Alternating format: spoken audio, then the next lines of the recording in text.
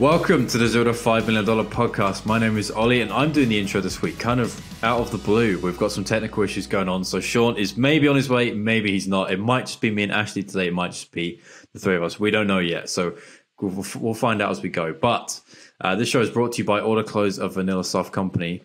And with that, normally Sean will pass me to do the introduction to my guest, but I'll carry on. I'm with my good friend Ashleigh Early and she's an expat from the states who's now in. Um, oh, Ashleigh, help me. Um, are you in Amsterdam or not?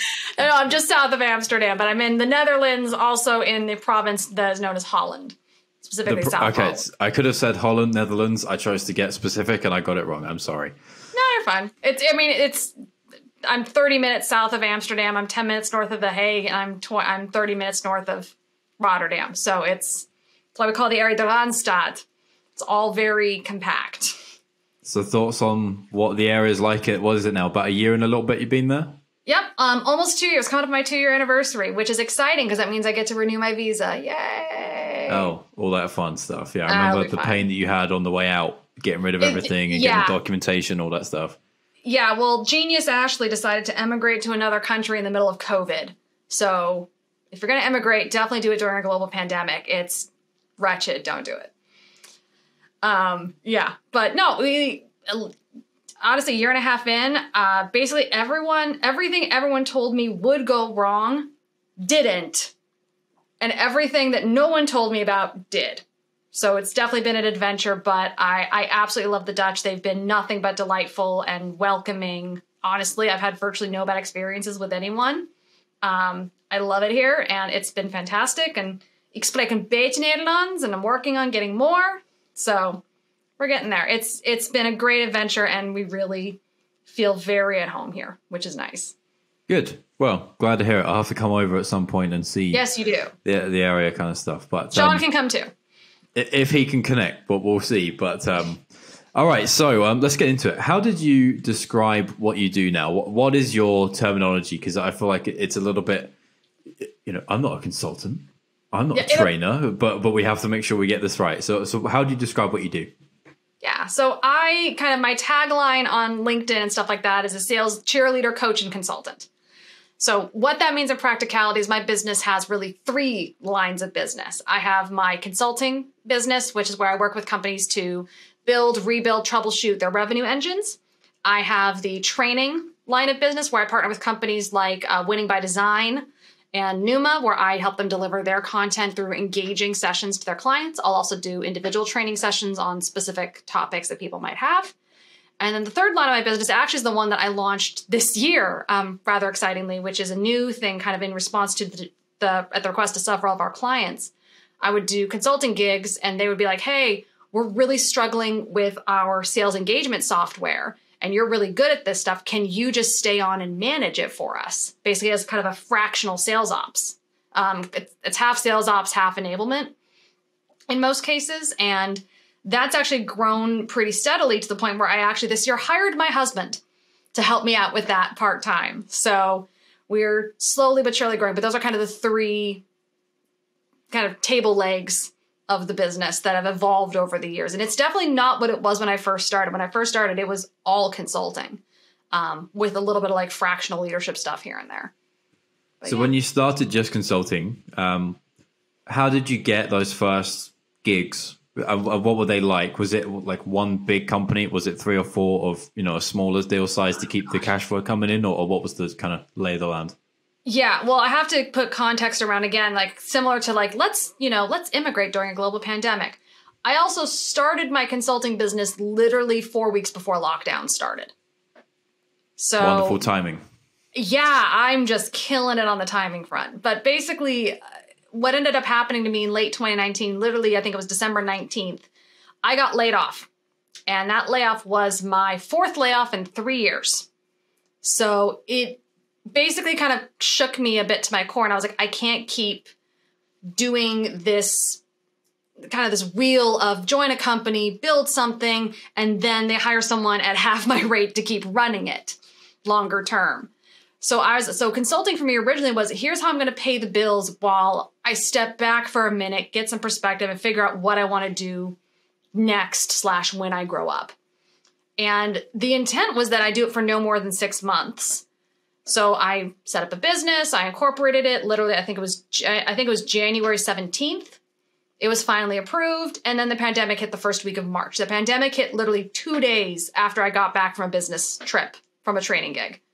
So my first clients were primarily actually people who went to my former employer and went, "Wait, where'd Ashleigh go?"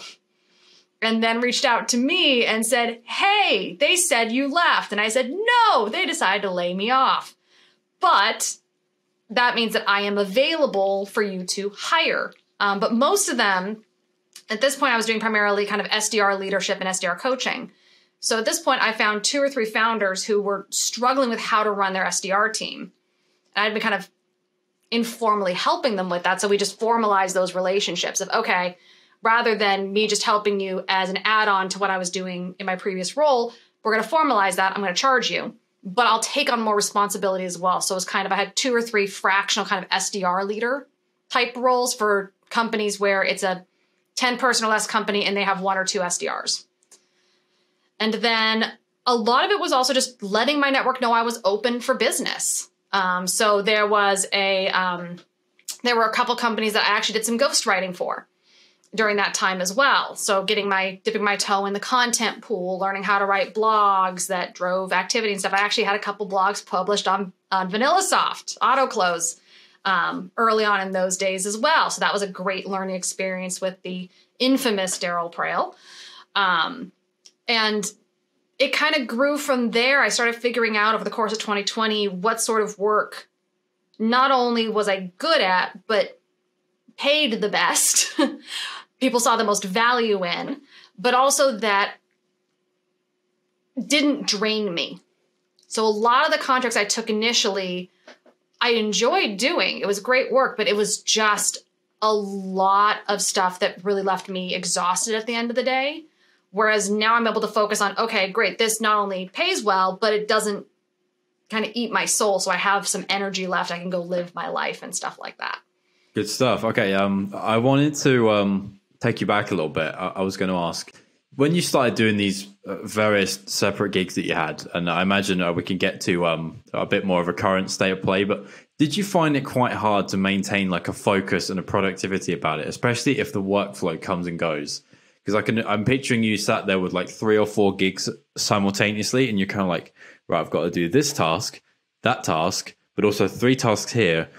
Due date tomorrow, due date Friday, and you've got to manage your work timing. You've got to deal with all of it at once. Uh, was that difficult, or, or did you manage to plan it out really well? No, it's it was brutal. Um, and what I found really interesting was in my previous role, right before I moved into this, I was doing heavy consulting. So I was responsible for coaching, or sorry, heavy coaching, and I was responsible for anywhere from ten to thirty-five people a week.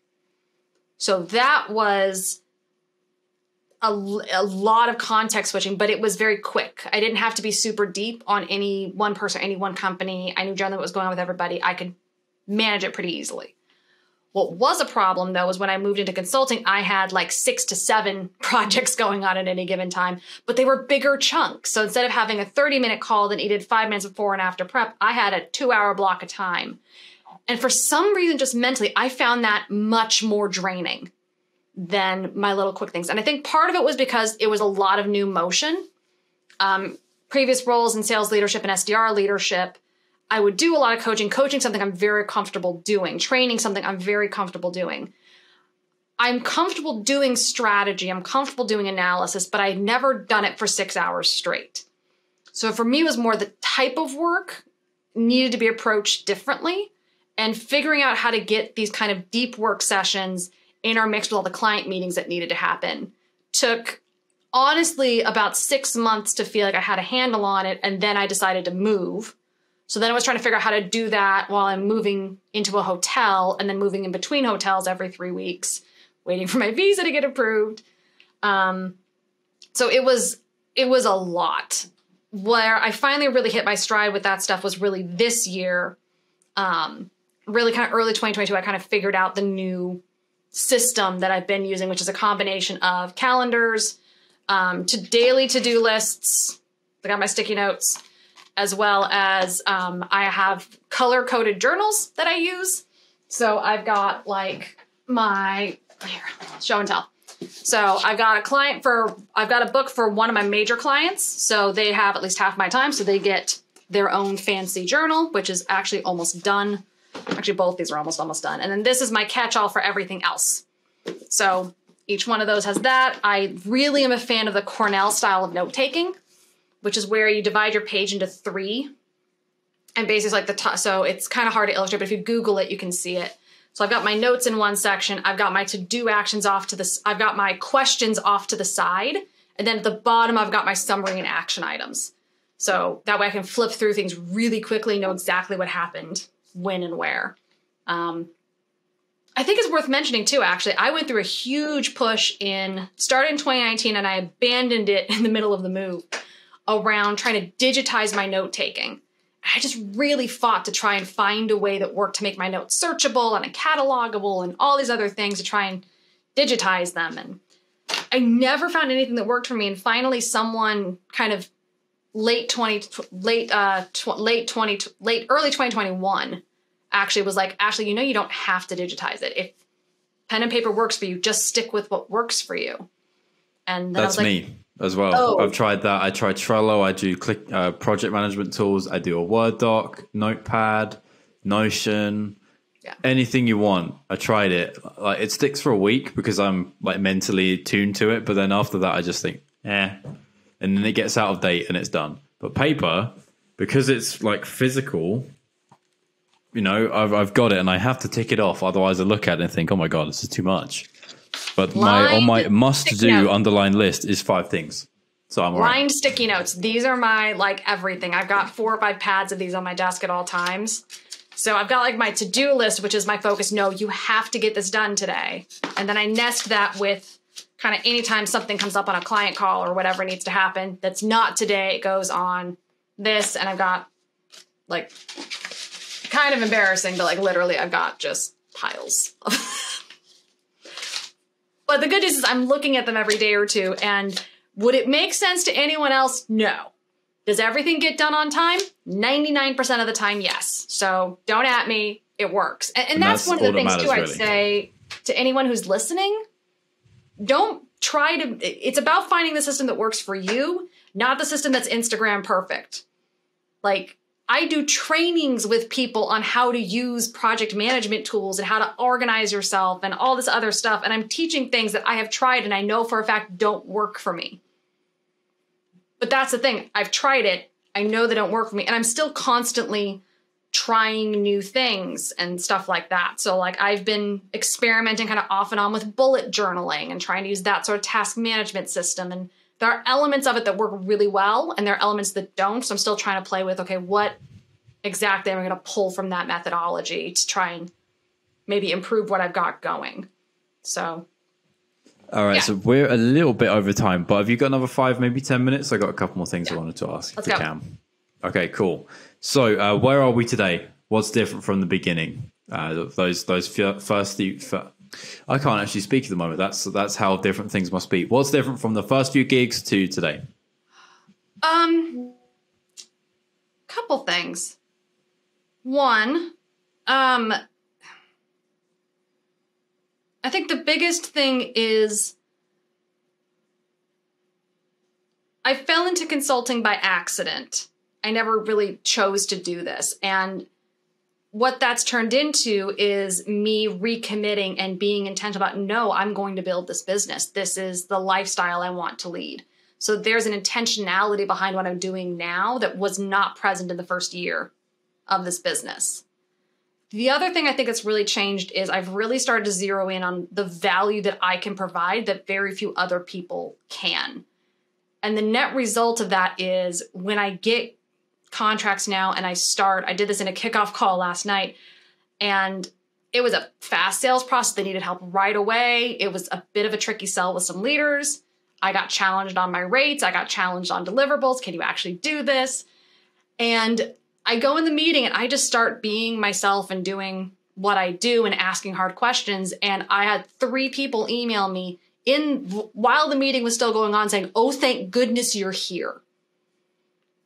So the impact that I'm delivering is going up as as a result of that. And that's really empowering and really satisfying.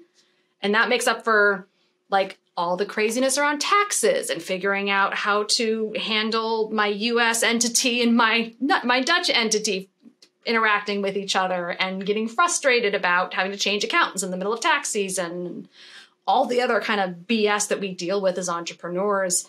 I'm seeing that impact grow and that's really exciting. That, I think that's a really difficult thing to do, and, and, it sounds like you've done a good job of it. And I think it, it's like a continual thing, isn't it, for the most part? Yeah, but it's like, gonna it's gonna was, keep um, being a challenge. if I was to try that. and do that, I think I would land that because I was I think of it so literally and, and figuratively. I would say, well, I don't want to have ten clients. I want to have two. So then I'm forcing myself to have two big clients, and then I'm wrapping myself around that, and then that's not the way that you've done it. You've done it in terms of I'm specifically nuancedly good at A, B, and C, not D, E, and F, which I'm also good at. I'm specifically good at A, B, and C. And and who would that fit for? And then how would we work with them based on that and their situations? It's kind of the way I've seen you go about that. I'm trying to do that. The problem is that the space where I am best is not a large market. So it's okay, how do I find the people who are in this specific situation and need the specific skill set that I've got? But at the same time, let's take a look at B, C, D, and F because these pay reasonably well. And how do I get a steady stream of those going? So, like, if you talk about you've got three clients going on at all times, or you've got two big clients going on, the problem with that is should anything happen to either one of those clients, there goes half your income. So, I'm at that kind of like three to five contracts at a time is a pretty good spot for me with one or two big ones that take most of my time and two or three smaller ones that are just constantly cycling in and out. So for me, it's also looking at the balance of kind of the bit the the whales and the minnows, as it were. It's just like a sales pipe. It's got to be a balanced client pipe. It's got to be a balanced sales pipe, and that's how I get a little bit more predictability in what I'm doing, and I also avoid getting ridiculously oversubscribed or ah, how am I going to pay my bills? Which luckily hasn't happened yet, touching wood. But it's finding that kind of that balance a little bit. And I, I hit a little bit of that bump. I had a huge client that no longer needed my services and I didn't start ramping up that prospecting effort quickly enough. So it was like, oh, yeah, sales. I probably should have seen this coming. But finding that mix of the big and the smalls is is a little bit tricky. It's something I'm going to keep fine tuning. All right, my uh, my favorite question last. We've kind of hinted at a couple, but uh, I'm hoping there's like a big hairy, terrible story here that you've got for me. Any mistakes you're willing to share, whether it be about like the change in uh, in your location and the type of work you were doing. I imagine, obviously, with that many moving parts, there were a couple of problems. But in terms of running your company wise, anything yeah. you're willing to share? Honestly, uh, it's a mistake. Luckily, it doesn't. This is going to sound like it's a giant mistake. It's not. But what it is, it's a mistake because of how much stress I gave myself unnecessarily. Um, and that's be proactive with your taxes and your tax people and hire good people to do it. It's worth it to hire the people who are good at it to get it done and get it done right. Um, I got really scared this year about, oh gosh, US and Dutch, and oh my gosh, all this stuff's gonna happen. And there were some major delays on the Dutch side. But as a result, I ended up scrambling and I hired an accountant that did not do a good enough job. And I had to switch last minute to a different person and it just it's been 6 months of stress. Whereas if I had just spent a little more money, done a little more due diligence initially, I would not have had to worry about it for the past 6 months which would have invaded and would have saved me a ton of time I could have spent on a bunch of other stuff. So don't mess with the taxes, hire a professional, hire a good one, pay the money. Pay the money for the good one and then just let it go. There's um hospitalization there's snakes, and then there is taxes for me. These two are down there. Taxes is up there. I don't know why. Just if I get that brown envelope through my door, and that's the in England, that's the you know the Inland Revenue are talking to you because it's it's always that. Yeah, I, would hate that. You get the feeling. blue envelopes in the Netherlands. If you see that, just like ugh. Yeah. Even though normally it's nothing, it's just here's a report of your status. But yeah, it's that it's that moment of panic that I wish I had just owned up and owned it, owned that a lot earlier. Fair enough. Well, Ashleigh, thanks very much for coming on. It's been ages since we caught up. I think the last time we were out for dinner in London, which was um, I know a long You're time a ago. uh, giant. Yeah. when was that? I don't even remember. It was That was last March December. because yeah, that was March. I think I, I think I got COVID literally the day after I met you Oh, because man. I got sick my first day back because I was in I was in London for a wedding and so I saw Ollie and then I went to the wedding the next night. I'm pretty sure I got COVID at the wedding because 72 hours later I had COVID. But that was great because I, I- got to text wow. Ollie and say, "Hey, sorry," because I don't know where I got it. So that was fun. I think I escaped it. I got it later in did. June or July, so that's weird how yeah. Yeah. Okay. I don't know how that how I got away with that, but yeah, um, I'm sure we'll have to catch up again soon. But before you go, and uh, thanks very much for your time so far. Where can people follow you? Find out more about what you do, and uh, and what kinds of things are you up to these days? Any any podcasting or like any particular content you got coming out? Other Side of Sales is still going. Other Side of Sales the podcast devoted to making B2B sales truly inclusive so everyone can thrive. You can check that out at othersideofsales.com. We've got our, our sales census is going to be coming out in a few weeks. So please go to the website, sign up for our mailing list so you can be notified about the state of DEI on sales teams. You can also follow me on LinkedIn or Twitter. I'm sure they'll put the links in the bio, but on LinkedIn, just look for Ashleigh Early with the crazy spelling of Ashleigh. And on Twitter, it's Ashleigh at Work, which is a super deep cut Star Trek reference for any of my other Trekkies out there. I I thought it was just like a work joke. I know. See, exactly, But- right? Yeah, it's like Okay, no, it's a reference to a, a obscure comic called O'Brien at Work. Which Right, is dark okay. and awesome. I, I can see it. Went straight over my head, so I'm, I'm going to move on from that one. Ashleigh, thanks very much for coming on. I appreciate you. I'm surprised we haven't had you on earlier, so we'll have to do another one, maybe about the other side of sales types of thing. Uh, it's, it's almost like another business for you, so um, It is another so we'll business. book that up. And uh, and with that, everybody, thank you very much for listening. Hope you enjoyed the show. Uh, if you don't mind, leave us a five star review, subscribe, and we'll see you on the next one. Thanks, folks.